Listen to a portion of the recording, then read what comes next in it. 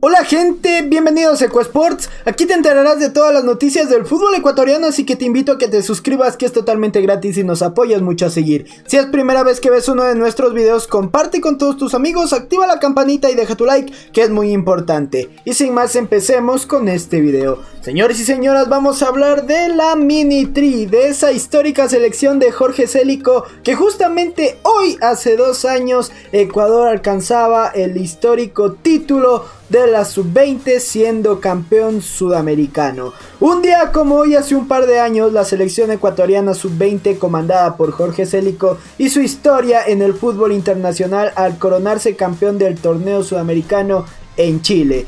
La tri fue la mejor del hexagonal final donde estaban Brasil, Argentina, Uruguay, entre otros con Leonardo Campana, Gonzalo Plata y más jugadores que se hicieron figuras. En un video publicado por la FEB, Célico recordó la gesta. Si bien el título lo hemos ganado, eso quedará para siempre. El hecho que puedan ser tomados en cuenta es primordial para que los procesos se cumplan correctamente. ¿Por qué no nos ilusionamos a ser bicampeones? Fue lo que dijo Jorge Célico. Y bueno, no, ya dos años, dos años de ese día histórico para nuestro país, de ese día de gran felicidad donde vimos a Ecuador siendo campeón del sudamericano. Esperemos tener más alegrías de esta con la Tri y muchísimos éxitos para Jorge Célico y su selección. Ahora sí vamos a hablar de Aucas ya que el día de hoy hicieron un amistoso contra la Universidad Católica donde nuevamente Aucas gana en un amistoso. Sociedad Deportiva Aucas sigue afinando detalles para el inicio de la Liga Pro 2021 al imponerse en un amistoso a la Universidad Católica en el Atahualpa. En el primer encuentro Aucas se impuso dos goles a uno gracias a un doblete de cortesía de Luis Cano y Católica descontó por medio de Walter Chalá. En el segundo encuentro ambos equipos cambiaron sus alineaciones y el resultado fue de empate a cero goles. Aucas jugará en la fecha 1 ante el Mushugruna de visitante el próximo sábado 20 a las 14 horas y Católica tendrá su estreno frente al Olmedo como local en el duelo inaugural del torneo el viernes 19 16 horas 30. Bueno, siguen los amistosos de preparación para el inicio de la Liga Pro, donde el día de hoy Aucas se enfrentó a la Católica y le ganó dos tantos por uno. También en otro amistoso, Liga e Independiente empataron en amistosos por pretemporada. Liga de Quito e Independiente del Valle disputaron un par de amistosos en esta tarde en el Estadio Rodrigo Paz Delgado. La modalidad de ambos encuentros fue de dos tiempos de 30 minutos cada uno, donde el primer partido entre los equipos A de cada club terminó con un empate a cero, mientras que el partido entre los equipos de alternantes también resultó con una igualada, pero de un gol por bando. Liga inicia la Liga Pro 2021 como local ante el 9 de octubre, el viernes 19, 19 horas, mientras que Independiente del Valle tendrá que visitar a Lorense el domingo 21, 13 horas. Bueno, siguen también los amistosos acá, Liga versus Independiente, que quedaron empatados. Esto sigue para el inicio de la Liga Pro. Ya que estamos hablando de Liga Deportiva Universitaria de Quito, hablemos de Adolfo el Picante Muñoz, donde dio una declaración especialmente interesante Dijo lo siguiente, el equipo ha mantenido una base del año anterior y esa es la idea, la situación económica de los equipos del fútbol ecuatoriano no es buena, nosotros debemos entender eso. Me gusta mucho la liga española, he seguido a Messi y algún día me gustaría jugar en el Fútbol Club Barcelona.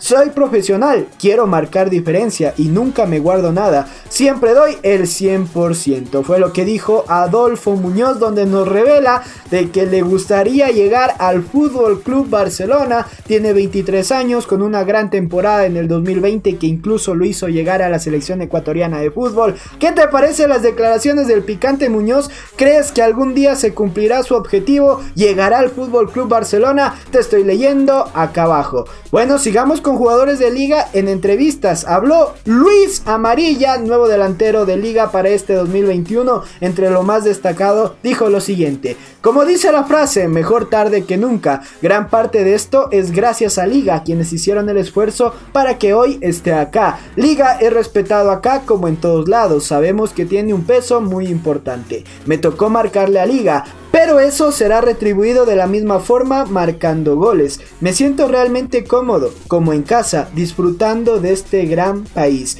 Veo a Liga como una oportunidad para llegar a la selección. Yo lo veo muy bien al equipo, con esas ansias de tener esa revancha, porque eso es lo lindo del fútbol, que te da una segunda oportunidad que se necesita para sacarse esas ganas de lo que se quedó. Sería lindo de las tres competencias que tenemos ganar las tres, pero sabemos que ese es día a día y paso a paso. Estas son las declaraciones de Luis Amarilla donde habla de distintos puntos, que la gran gestión de liga pues lo hizo que esté acá, que se siente cómodo en Ecuador y que ve a liga como una oportunidad de llegar a la selección paraguaya. Bueno, interesante todo esto, será que se cumple de igual manera el sueño de Luis Amarilla, un gran, gran delantero, gran refuerzo que tiene liga para este 2020. Bueno, ahora también habrá otro amistoso, Emelec versus Guayaquil City. Emelec se prepara para el inicio de la Liga Pro, donde tendrá que recibir en la primera fecha al Deportivo Cuenca. Como parte de su pretemporada, jugará un amistoso ante Guayaquil City en el estadio Capuel.